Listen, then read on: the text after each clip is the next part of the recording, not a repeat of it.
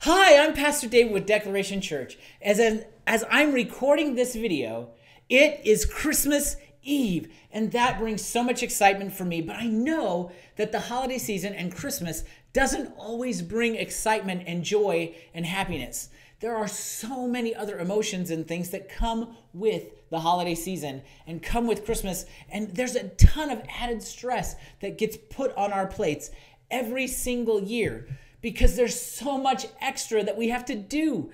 There's constantly something going on. The holiday seasons don't just necessarily bring excitement and joy, they can bring anxiety and stress and grief and all kinds of things as we engage with extra activities that are brought on by our by school, by uh, by work, by family and friends, and there. So there's added cooking, added shopping, added wrapping, added decorating. There's more to do all the time. So we're throwing all this extra stuff on our plates, and we start looking at the calendar. We start looking at things, and time starts getting short. And so added stress comes with that. Anxiety over getting things done or interacting with people that we haven't seen for a year that are a little bit difficult for us to get along with. And so that can bring extra anxiety. And then there can be grief and sadness that comes along with not being able to see friends and family that we love for whatever reason that might be. Maybe geographically in the travel, especially with this pandemic continuing to hold on to the world. Maybe travel restrictions or where they live and their calendar being unable to make the trip because of time constraints. Maybe you can't go to them. And so there's that divide there. Maybe someone's passed away, and so there's grief associated with that, as you're not going to be able to see them this holiday season like you normally would have done or have in the past. And so all of those things come with the holidays.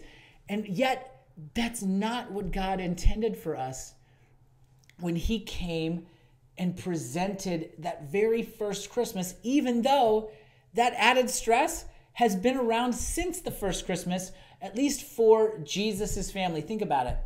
Mary is pregnant. Joseph has to travel with his pregnant wife from Nazareth to Bethlehem. They get to Bethlehem. This is not a planned trip. This is something that's been laid on top of them by the government. They travel south, they get where they need to be, and yet there's no place for them to stay other than where they house the animals. So they have to stay in a manger. And then they lay Jesus in a feeding trough after Jesus is born, which, I mean, I don't know if you've ever been through this okay? As women if you've been through it you understand the labor process and what that's like delivering a child.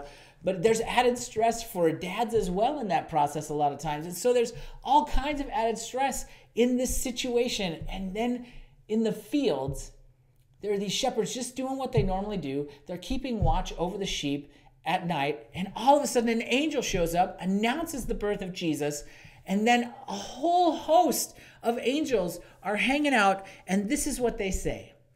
This is what God wants for us this holiday season.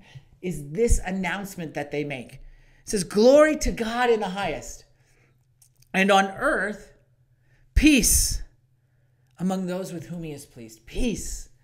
God wanted us in the coming moments of his son's birth, in the moments from the point that Jesus was born, even through till now, God wants us to have peace. He wants us to have a peace that doesn't change or fluctuate or dissipate because of the circumstances that are going on in our lives. He wants us to have a peace that is an anchor for us. And that peace is found through our relationship with Him. When Jesus shows up, He brings peace. And He did that for His disciples, and He left His peace for them. In fact, He said, I'm going to go to my Father, but my peace I leave with you. Because God wants us to have peace. In the midst of the extra cooking and the extra travel and the shopping and the financial stress and all of the things that come with this season, God wants you to have peace. And I hope that's encouraging to you. If that's an encouragement to you, go ahead and give the video a like. But it's also a challenge because what we need to do a lot of times, rather than press on and keep going and stay busy and stay active, what we need to do is actually take a step back, take a deep breath, and engage with Jesus on a very personal level. Really engage in that relationship with Him and allow His peace to override all of the stress and anxiety and grief and all of the emotions that come with this Christmas season. So that's my challenge for you today. Take a step back, take a deep breath, allow Jesus to minister to you, engage with him on that personal level, and receive the peace that only he can provide. Because God's desire for you in this holiday season is that you would have peace through the relationship with him. It's the only way we can have it, and it's the kind of peace that we all need. If this has been encouraging or challenging to you, again, go ahead and give this video a thumbs up, give it a like, subscribe to the channel, and click on the bell so you're notified every time that we post new content. Thank you so much for allowing me in this holiday season, on this Christmas Eve, to be a part of your faith journey. I hope you'll continue to allow me to be a part of that, and we can walk together as we grow as disciples of Jesus. As always, I'm Pastor David, and I'm out. Merry Christmas.